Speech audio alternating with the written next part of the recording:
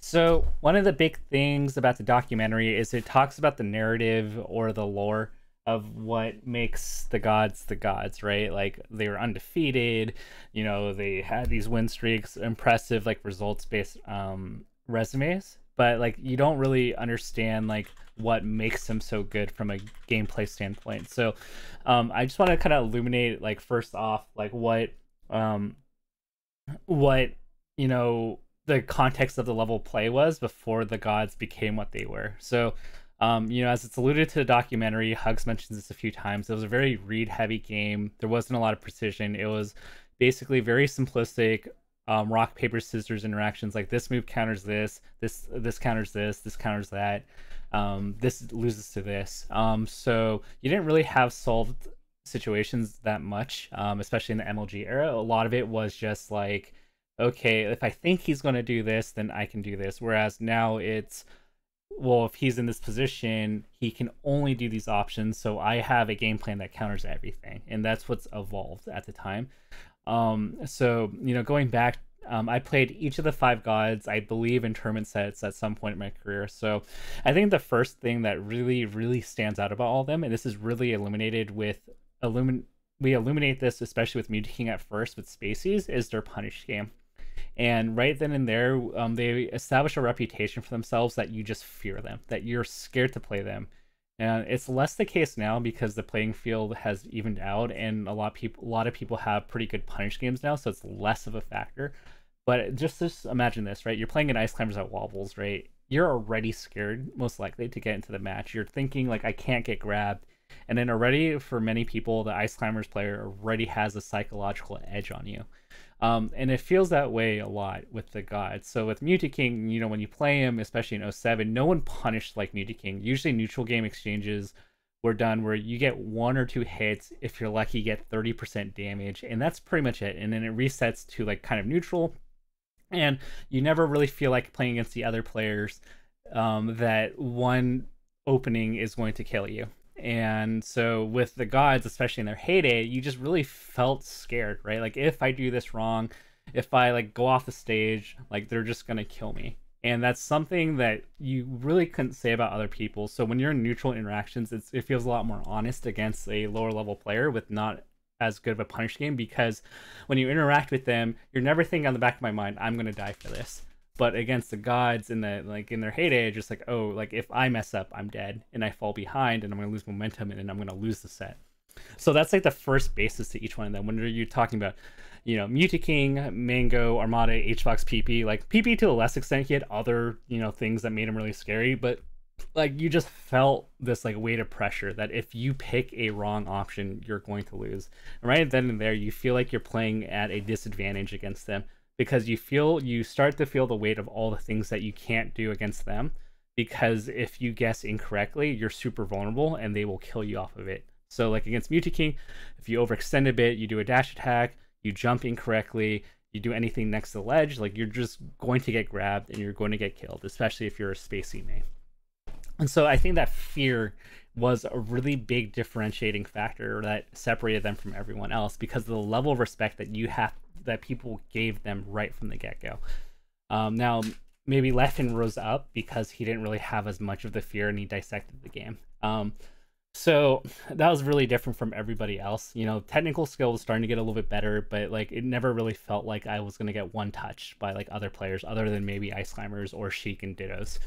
Um, so let's run by like the different players one by one. So first off with uh, Mew2King, um, I think you know his defining strengths are that he's extremely knowledgeable over micro interactions like for the time. Maybe that's less the case now but you one of the big things about him is knowing how um, interactions are going to happen and especially in 07 he was so much more studied in these interactions that like if the games were ever close, he would just introduce new situations to you, and then like he would already have the options prepared and what he perceives the opponent's likely going to do next. And so then again, like he's playing a rock paper scissors match where like he can kill you if he guesses correctly, and because it's an unprecedented rock paper scissors on his opponent's end, like they're not going to be prepared, and Mew2King already knows what the scared reaction is going to be.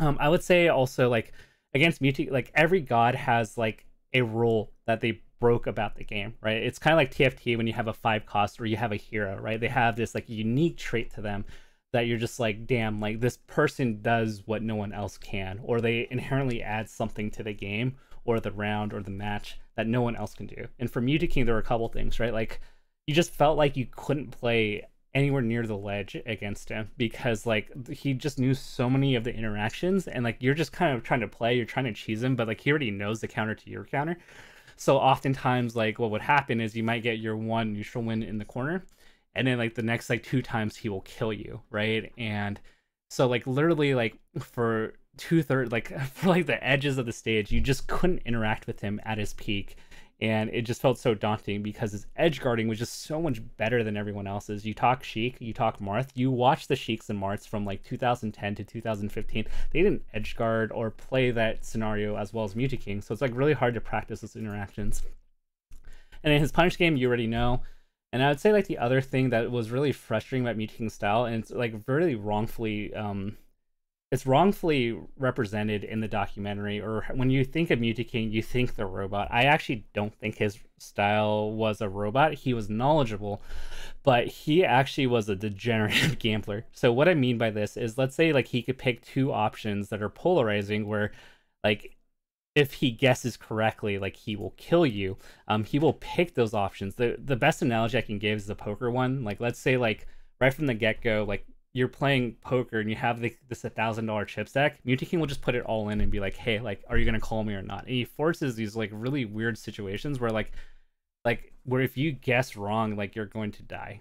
And these kind of interactions are very degenerative, but very smart because if King guesses wrong, then like he only takes like one or two hits. It's not a lethal rock paper scissors for him. But frequently you'll find, especially if you're a spacey, that he's going to put you in these awkward 50-50 scenarios where if you guess incorrectly you will die um, so overall that's like my thoughts on King.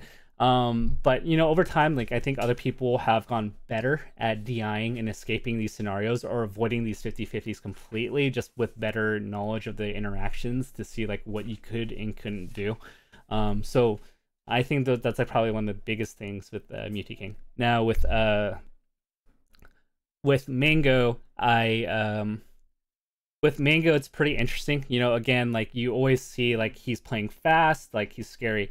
I think the tough part about Mango is like I think people don't talk about his punish game enough. Like when you see him play Falco Fox or like Falco Falcon, like he hits really hard. And I think that's one aspect that like no one really talks about is like we talk about punish game as like Armada, you know, Hungrybox, Mew2King. No one really mentions Mango in like the the I'm gonna punish you and like kill you off of a shine. Like that's something like Mango does, and I think like what's so scary is that um, against a lot of players, right? Like, and they, they people will reset very often. And what I mean by this, by this is if you're um in a scary situation, like if you're playing against like Puff, for example, or Peach, one secret that you can do is um you can roll away and you can reset an interaction. Um, but with Mango, what's kind of scary is um, Mango will walk towards you, right? And normally people will, like, most people will hit you where you're currently standing, right? I like to view this as like a cooldown, right? When you commit to an action to where they're at, you used up your cooldown, and the next interaction you can't hit them, right? What's really like good about Mango is that he'll run at you. He won't.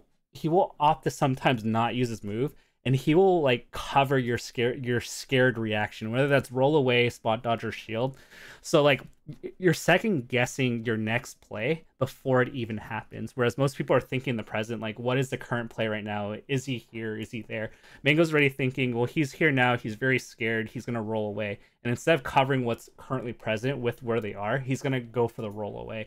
And so like when Mango's in the zone, like you never ever really feel like you can reset to neutral or catch a breath, right? Because you try to roll away, you try to jump, you try to spot dodge, he reads it and then like you're getting comboed again, and then like you finally get a moment of fresh air where you can like get away, and then you get mixed up again. So it kind of feels like if there's a Street Fighter analogy here, like you're constantly if you feel like you're having to wake up, and on your wake up from the ground, you're you're like Mango is constantly able to push the next uh, the next mix up and you're always second guessing and you don't have a breath. So that's why like what happens is like with mango like he'll try to break you down. He'll try to like break down your defenses to the point where like you're going off of instinct and he's reading that instinct. And the moment he breaks you is when you second guess your instinct and you feel powerless to do anything um, for Mango, also, I think one of his key strengths, and this came from Puff, is um, his air, his ability to aerial drift almost felt like cheating. I think in the documentary, PPMD complained and he said like I needed an extra dash with Falco, and that's what made him pick Marth. But it almost felt like his aerials and his timings were just wider than every other player, and you can kind of see that when he does his like aerial pullback forward smash. You just feel like Mango covers a bit more and he can escape from more. And like these aerial interactions with him just kind of feel unfair. It almost feels like he gets like an extra half character distance on his attacks. And um I think his reactions are really solid, but like in terms of like the neutral interactions, like him being able to delay aerials until like the very last second. Um I guess the best way I can explain this if you're a newer player is um when you decide to like to do an aerial, right? And you jump at your opponent, like a newer player, they're just thinking, okay, if I commit it to a jump, then I'm gonna do my nair and fastfall, and like you already commit to your full movement until you land. For Mango, he's gonna jump, drift a bit, react, and at the very last minute, if he feels the aerial's good, then he'll do it, right? And I think that's the difference between like just average players getting in that just have learned like the L canceling, the fastfall, and like a really great player like Zain or Mango is that you notice that they're not committing to anything else until the very last moment. And I think most like new players, especially Falco players on NetPlay, is the moment they jump, like their whole movement's telegraphed. They will jump, they will laser and then land, or they'll jump and then immediately nair and then land. It's very predictable and te- telegraphed, and there's no nuance to it. Um, I think with Mango, like everything is a little bit nuanced, and there's always a little twist that he can add that will like put a pie to your face. So that's like how I think about um, Mango and like what he brings is just that pressure and just like that little oomph of surprise. I think in Ratatouille and Gusteau, like his genius was like that he would always bring slightly something like unexpected to his dish. Like that's the way I feel about Mango and the way he chooses options. It's like he's always gonna he's always thinking of something that you're not expecting, and that's like that just like messes with your mind. Um, for Armada, like I think the biggest thing that I noticed was for him was um, his precision. Um, and I played a lot of peaches that were like pretty decent. Like I played against like the second tier peaches quite often, you know, like MacD. I played Alan in NorCal. Um, and so like I've had a lot of experience with Peach, and like I felt that against like floaty characters, the Sheik, that I got away with a lot, and I had a lot of privilege as Sheik. Just like four airing shield, and it just felt to me that like I had these really generous windows to attack my opponent where my opponent just didn't have answers as Peach. I think the one thing that stood out for Armada is like his defensive game is so good. And I think in the um, this is me talking in the perspective of the timing of the Five Gods era. Like it felt like you just could not hit Armada's shield, right? Um, when you think of like the foxes in that era, like Eggm and like Silent Wolf and all these people, like they will all tell you the same thing. It felt like nairing and drilling um, with the way that Armada would shield DI and drift his air, like his shield or, um, you know, SDI, the multi-hit move. It just felt like, like an extra level of difficulty to get into hitting Armada because he would shield and if he slightly messed up, he would nair out his shield. And he just always knew, like, if you messed up slightly, like, he had the perfect answer to, like, countering it. And it almost felt like you're this bear, you're trying to swipe at him, but he had he's like a rose with thorns everywhere where like if you just slightly miss, like you end up getting hit. And there are a lot of situations where like you as the approacher as Fox or Sheik or whatever, you just felt so much pressure that like as you're interacting with Armada who is in a disadvantaged position, you felt like you're at a disadvantage because you know that if you slightly mess up, he's gonna SDI down smash and then he's gonna start chain grabbing you and like you're like what the heck? Like i did five damage with drill and now he did 70 damage because i didn't follow his di perfectly. I think the other thing i noticed from the sheik standpoint is like he had answers to things that like i didn't think i existed. So i would like run up to armada as sheik.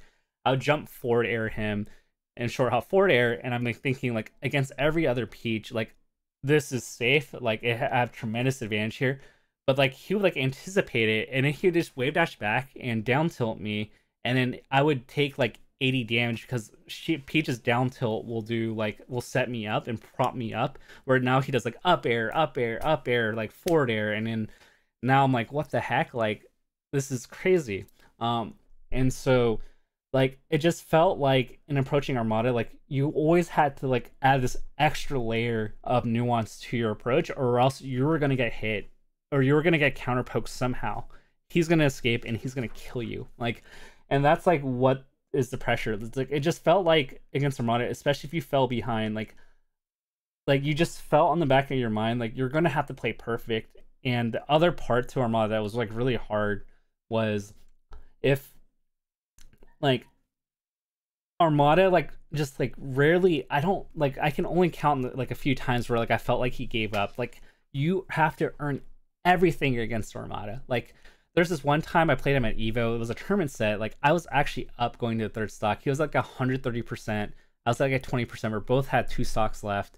Like I go out and forward air him. He like drifts back perfectly, and then he reverse forward airs me, and then kills me, and I lose my lead. And it was because I was like complacent for this one moment, and I graded. And I was just like, okay, like I can forward air to him, but like he does not give free openings, and that's what's so frustrating. Is that like you feel like in a set like to beat Armada, like he will fight you tooth and nail every inch, and like that mental fortitude is so exhausting to play against especially if you fall behind. And even if you are trying to close out a stock, let's say you're like 10% and your Armada's like 100, you know that one hit will kill him. You just feel like you have to work so hard and trick Armada in like so many degrees to like kill him. And so I think that's what makes like Armada so consistent is that he makes you earn every inch and to like get openings you have to either play the situation like really well and like almost perfect or like you have to trick him. But like if you trick him, he adapts too. So like you have to have like a bag of tricks enough to like last you a set. And if you beat him in that set, he's gonna study it, and like those gimmicks won't work next time. Um, Hungrybox. Um, so I think Hung- so the hard part for Hungry Box is I played him in like 2013, 2014 era. I forget which tournament. Um, I, I think it was like a NorCal regional. Um, I think for him, he actually developed more after the five the five god era. But I think for him, he was he's like a Mayweather kind of player where like you just feel he like tires you out, like he exhausts you, right? Like he's gonna back air, back air, right? Um, and the hard part for him, right, is that you get pulled into this illusion that like like because like sometimes they'll be close and you'll be like yeah like compared to the other gods like Hungrybox isn't that good um, like I can beat him. And then like all those people who say that in that era just kept losing to Hungry Box. And the thing that's like really hard is like first off, like again, I'm beating a dead horse here. Like all these players have incredibly strong punishes, and you don't really realize that until you play them. You're just like, oh crap. But I think for Hungrybox, like I think his awareness to avoid situations to die is like really good. Similar to Armada, where like he's just aware of your options and like what can kill him at different percentages and he just won't give you those options. And that's why like against like many foxes like you'll just see like foxes struggle right? Because like once you get past the up throw up air percent like you're just having to like bear him like nine times to like 160 before he dies. And so with him he has that like that grit. Um i think the other part and this might be a puff thing too is that like he's really good at saving his reads and his game plans, right? And one of the biggest things that like when you you don't realize until you play against him is that between stocks, if he feels like he needs to change game plan because you're figuring out like he's gonna reverse the 180. Like he has so many different game plans where like one could be like, yeah, like he's just gonna stall back here and see how you can deal with it, right? And then another one like game plan, he could be playing like more fair heavy where he's like overextending on the ground to catch like your driftaways and stuff. Like the hard part about him is like you kind of go like yes, like in the middle set, like or in the middle of a match, like you get the first two slaps, you're like yes, like I got this figured out. And then like the third stock, he changes his plan completely, and like now the rock paper scissors interactions are like all weird because he's deliberately changed the interactions that he wants to give you, and he's changing in the interactions that you have with him what he's choosing. So it's like you have this completely different game that you have to play against him. and then the last stock, I think this is what makes also like a really good brawl player. Um, and the reason why I say this is because in brawl, um, kill kill options are really hard to get. You um, what I know about the game is that you have to like trick your opponent like two to three times before you can confirm a killing blow on a really good opponent, right? So so if you notice like let's say like the classic Mango at Genesis, right, where Mango saved that roll read until the end of game four, or like the uh, like the third stock. Like that's what brawl players do. Like they notice habits, but they won't release it until it's relevant. So you always feel like, okay, like I'm at last stock against Hungrybox. This is really close, and then Hungrybox like saves his last reads, and then he just kills you, right? And I don't think it's coincidence that like there's a clutch box thing. Like oftentimes he saves his reads until like the last stock or the last match, so that when the moment comes, he will just go through the interaction, he knows exactly what you're gonna do, and then he kills you, right? And he has so many setups to kill you that it's actually crazy, right? Like his edge guarding is really good. Um, his throw his throw combos are really good. Um, and like his way that he threatens you is also like solid as well. And so I think Clutchbox comes out because he saves a lot of reads for those like very last stock moments where like he can just pull out like his book on you and go like, okay, you do this in this scenario, let's just do it okay, you did it, great, I rested you. Um, and so um, that's how I feel about Hungrybox, you know, and that's what's so scary about him.